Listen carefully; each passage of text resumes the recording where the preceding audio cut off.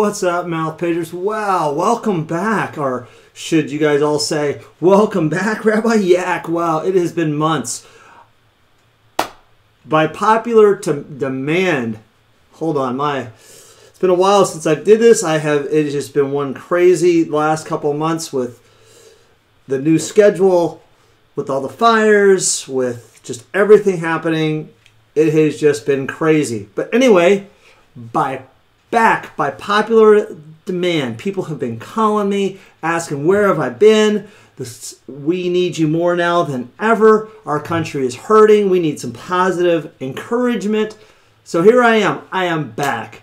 So it's going to be a tough go for a while, but I'm going to try my best to come back on the weekends and hopefully I can go back live five days a week. But here I am right now. We're going to make the best of it. Happy Saturday day. Shabbat Shalom. Happy November 2nd. Here we go. I'm going to make this real quick because I just want to get everybody a little bit comfortable with my ranting and raving again, get me going. But I am Rabbi Yak. Yes, we are an extreme, motivational, spiritual motivational Jewish synagogue going for the people, by the people, for the people. Here we are, mouth page. I am Rabbi Yak, located in Santa Rosa, which is a suburb of San Francisco. Yes, Santa Rosa. We have been involved in all the fires. It has been crazy out here, but we are back. We're ready to go. We are power, more powerful than ever, but by popular demand. People have been calling me with everything going on with the uh, the world and in our country they said we need you more now than ever, especially since God is starting to be like kicked out of schools and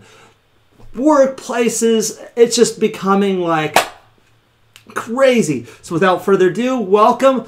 Let's just do a quick, let's do a quick Kol HaNeshama, which is Psalm 156. Kol HaNeshama, Talia, Hallelujah. Let all the breeze praise God, Hallelujah. Okay, I'm going to make this quick, but as those of you who know me and those of you who, who beg me to come back, here we are. So we we're, we're, we're falling off the path. And those of you who know me and watched the show before know that I do not follow the rules of the road of the Jewish religion. I do it the way that we need to tell the truth. We've got to be truth. It is about the truth. Torah is the truth, right? So here we go. So I'm going to quote something very powerful right now V for Vendetta. We need this more now than ever. He, if you've never seen the movie, I highly recommend it. The, at the very beginning of this one part, he says there is something terribly wrong with this country. So here's, here's what he says. While the truncheon may used in lieu of conversation, words will always retain their power. Words offer the means to a meaning, and for those who will listen, the communication of truth. And the truth is, there is something terribly wrong with this country. Isn't there? Cruelty and injustice, intolerance and oppression. How did this happen? Who's to blame? Well, certainly there are more responsible than others. But the truth be told, if you're looking for the guilty, look in the mirror. This is a powerful statement because the society that we have created over the last 50 years, we don't want to hear, look in the mirror. We want to point the fingers at everybody. We want to find the problem and point it on someone else. But the problem is, look in the mirror.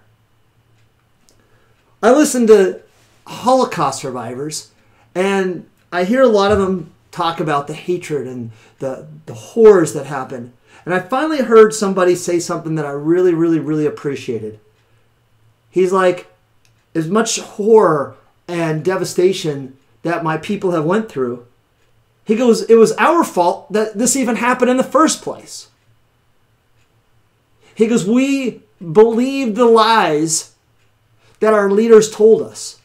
We followed our leaders thinking that they were going to lead us to salvation. They led us to executions. Think about that. Where are we going? How are we getting there? Are we getting there the right way? I, like I said earlier, I am not like any other rabbi.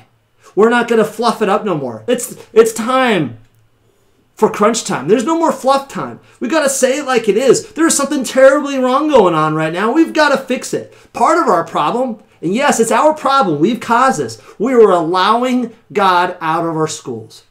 Amen. Can I get an amen? I'm going to sound like a Christian pastor for a second. Can I get an amen? Can I get an amen? Can I need an amen? Why? Because we need God back in the school. We get God back in the schools, half of this problems would already be resolved. Put God back in the schools. Put God back in work. Could put God back in your life. If you are afraid to say God out loud, you are part of the problem. There you go. Who's to blame? Let's look in the mirror. Let's start holding ourselves accountable.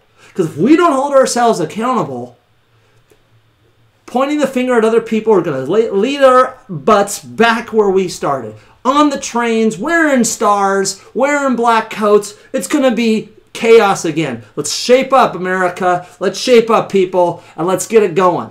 It might be tough. You might not want to hear it, but it's the truth. The truth will set us free. The truth is what gets us alive. The truth is where we need to be. Amen. I told you this was going to be quick. I'll see you all tomorrow. I love you all. I know just out of nowhere, boom, but by popular demand, I am back. What's up, mouth pagers? I love you all. Don't forget, help others to be nice. God bless. Lala Tov. Shabbat Shalom. I love you all.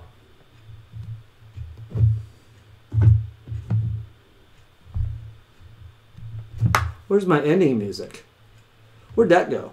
That's what we want to hear. Okay, guess no ending music. We'll fix that. We'll work on that. See ya. Love y'all.